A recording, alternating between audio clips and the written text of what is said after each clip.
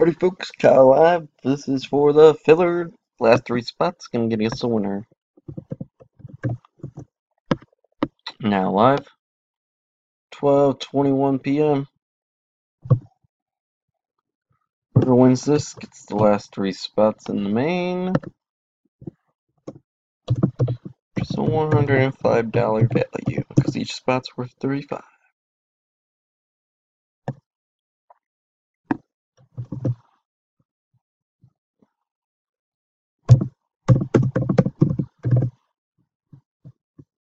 Two dice. Ten big ones. Here we go.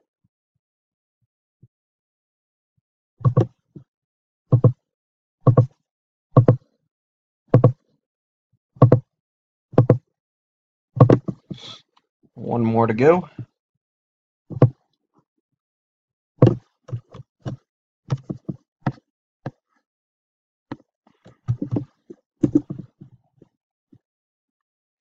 Twelve twenty-two, and the lucky winner in the last three spots is spot four, Ryan Valcourt. Congrats, Ryan. I will put your name in there. Second time stamp over. Once again, twelve twenty-three. Ten rounds is up to round number ten. Ryan Valcourt is our winner. Time stamp verification code. We're done. Thank you, everyone.